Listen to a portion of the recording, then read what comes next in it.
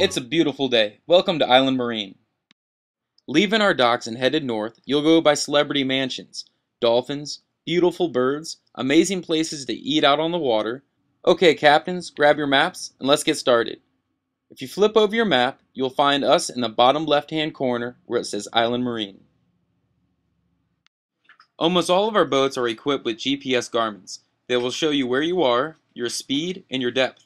If you already have a destination planned, we can route it on your GPS before you leave the dock. That way you will be able to follow a purple line all the way to your destination and back to our docks. It's important as you back out of the marina, you head straight into the ICW, the Intercoastal Waterway. The Intercoastal Waterway is a channel that runs north and south through the islands. As you're pulling away from the docks, you must go at a slow speed and minimum wake. Before heading north, make sure you get straight into the ICW. There is a sandbar that extends south off this mangrove island, so if you get into the channel first and then head north, you will avoid the sandbar. ICW is made up by green and red channel markers. All green markers are on the Gulf side, and all red ones are on the mainland side.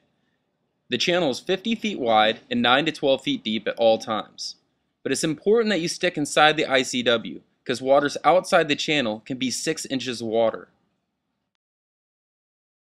The slow speed minimum wake sign shows that you need to be under 1500 RPMs while you're operating in this area.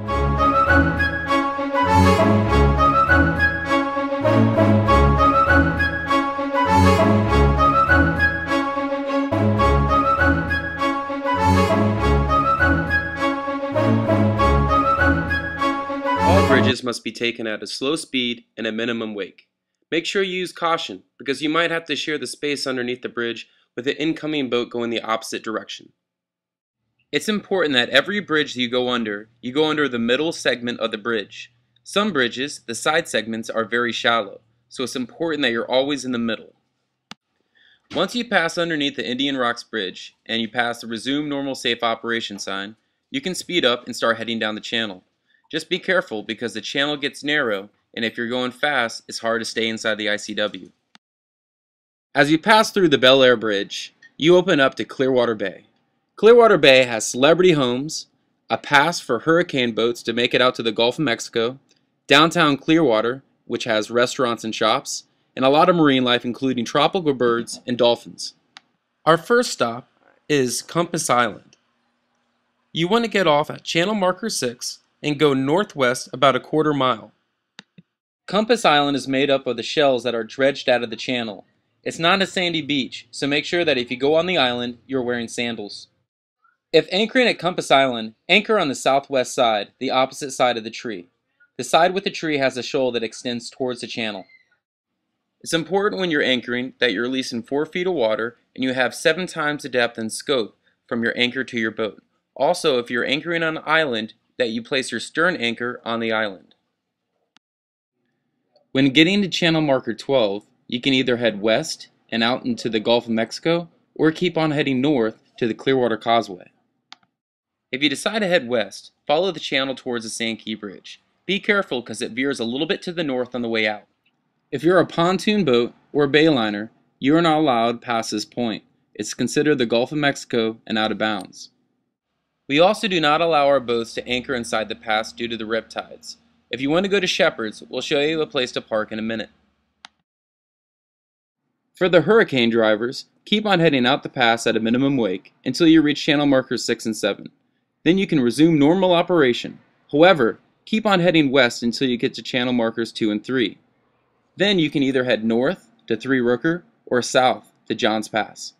When entering and leaving Clearwater Pass, it's important to pass through channel markers 3 and 4 because of underwater sandbars that extend out past the rock jetty. If you are not headed out into the Gulf, let's keep on heading north on the ICW starting at red channel marker number 12. As you pass underneath the bridge, this channel will take you to Bon Appetit, the Old Day Fish Cafe, Caladesi Island, and Three Rooker.